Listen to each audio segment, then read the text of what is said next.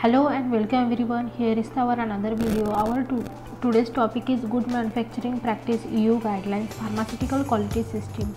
So before we start the video, don't forget to subscribe our channel and press the bell icon so you can get the latest video and notification.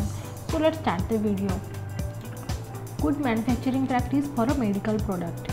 Good manufacturing practice is that the part of quality management which ensure that the products are consistently produced and controlled to the quality standard appropriate to their intended use and as required by the marketing authorization, clinical trial authorization and product specification. Good manufacturing practice is concerned with the, both the production and quality control.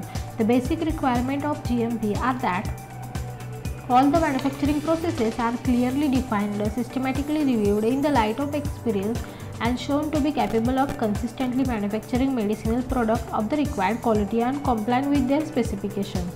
Critical steps of manufacturing processes and significant changes to the process are validated.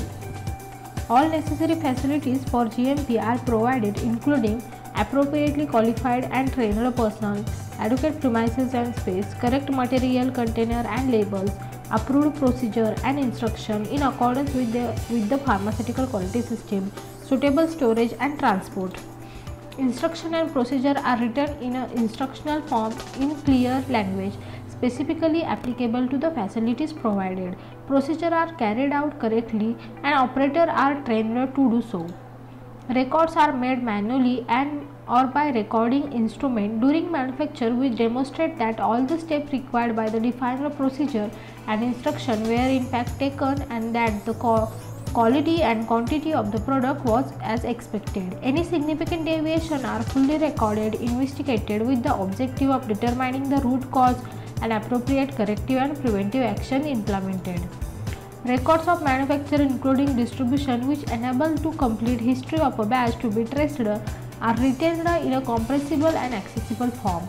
The distribution of the product minimizes and risk to their quality and takes account of good distribution practices. A system is available to recall any batch of product from sale or supply. Complaints about product are examined. The causes of quality defects are investigated and appropriate measures taken in respect of the defective product and to prevent reoccurrence. Hope you like this video. For more video notification join us on Facebook, Instagram, YouTube and WhatsApp.